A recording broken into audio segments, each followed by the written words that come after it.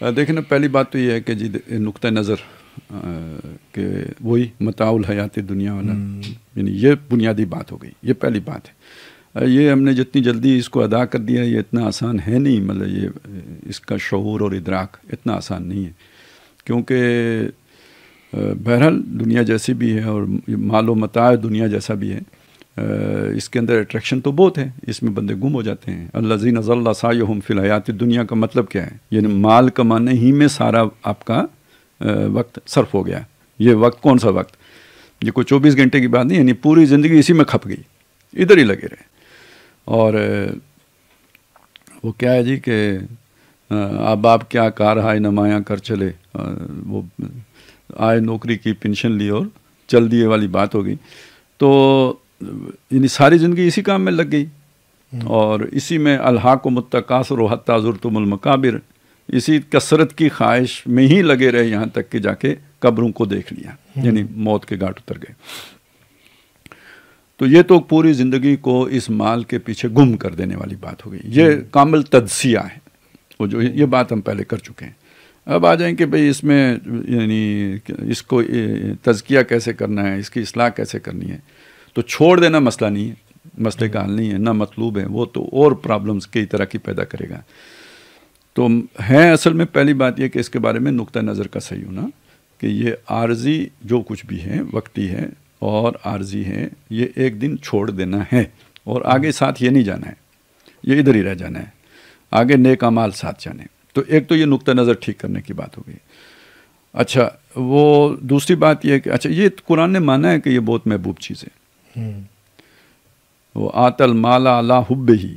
माल को खर्च करना उसकी मोहब्बत के बावजूद। वैसे इसका तर्जमा यूँ भी किया गया कि अल्लाह की मोहब्बत पर। तो लेकिन ये कि अगर वो तर्जमा भी करें तो कंट्रास्ट में दूसरी तरफ़ मोहब्बत तो है ना। दो मोहब्बतों का मुकाबला है तो अल्लाह की मोहब्बत गालिब आ जाए ताकि उसके, उसकी राह में माल खर्च किया जा सके। तो अल्लाह हुब ही का अगर दूसरी तरह तर्जमा किया जाए कि माल की मोहब्बत के बावजूद आप। खर्च करें तो वो दोनों तरह से देखें तो माल की मोहब्बत तो बड़ी शदीद इंसान के अंदर है। वो क्या है जी, चमड़ी जाए पर दमड़ी ना जाए। और, यानी ये उसकी शिद्दत को ज़ाहिर करने के लिए इस तरह के मावरे बने हुए हैं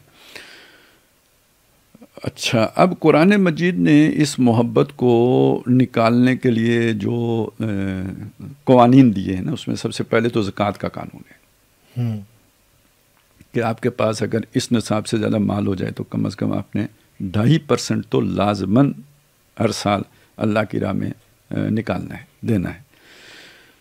एक एक चीज़ ये है। दूसरा जो कुरान मजीद ने इस मामले में हमारे सामने बात रखी है, वो ये भी है कि सदका करो, खैरात करो।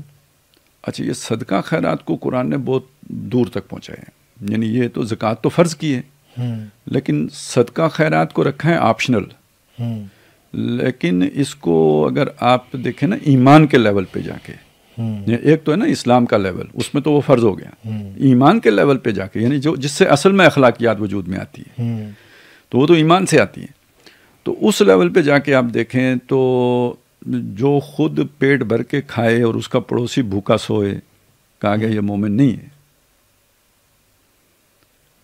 अच्छा अब देखें ना ये कितना ये ये एक लेवल हो गया। यहाँ बात रुकी नहीं इससे आगे गई।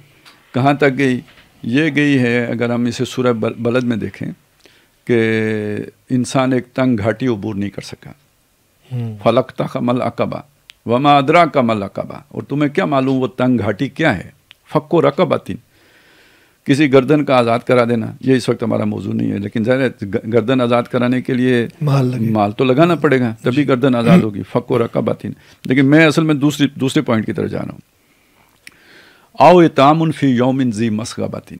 या किसी आ, को खाना खिलाना एक ऐसे दिन जब खुद अपने पेट के लाले पड़े हो।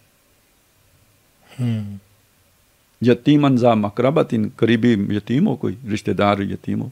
और मिसकीन अनजा मतरबतिन या वो मिसकीन के जो मट्टी में रुल रहा हो। खा कालूद मिसकीन। यानी इसमें वो भी आ गया शायद वो भूख से गिर पड़ा हो मिट्टी उसमें आ गई हो। हम्म।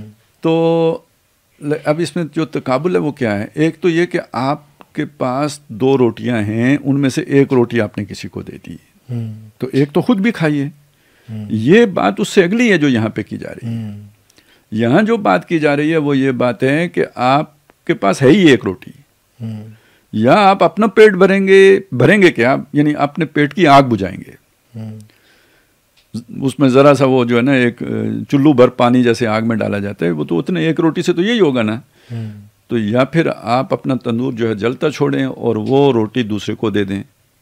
तो कुरान मजीद ने ये तजकिए की ये सतह बयान की है कि असल में ये घाटी अबूर करोगे तो तजकिए की वादी में कदम रखोगे।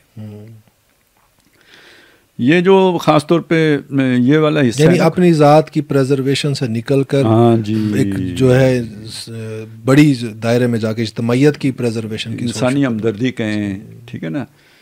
या खिदमत खल कहें या जो भी आप इसे अब नाम दे रहे हैं। अगर ये मादा आपके अंदर पैदा हो गया है तो तस्किया हुआ है।